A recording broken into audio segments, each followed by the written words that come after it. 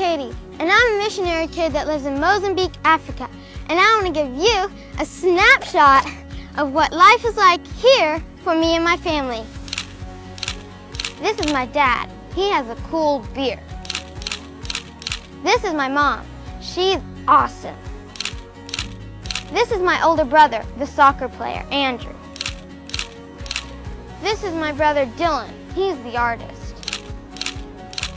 And my baby brother, Micah, who loves to get dirty. We live in a in the wild kind of place, Mozambique.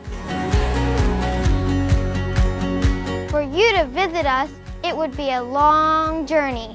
We often travel by boat or truck just to get to the villages so we can tell them about Jesus.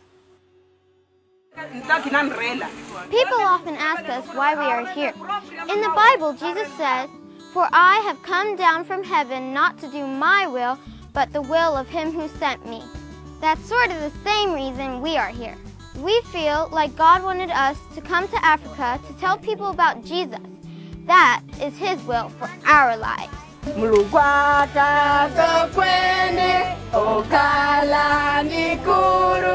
Jesus knew why he came and we do too.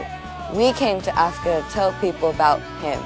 We always want to focus on Jesus in everything we do.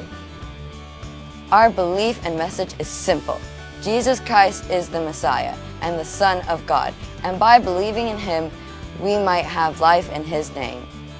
Are you ready for an up-close and personal encounter with Jesus?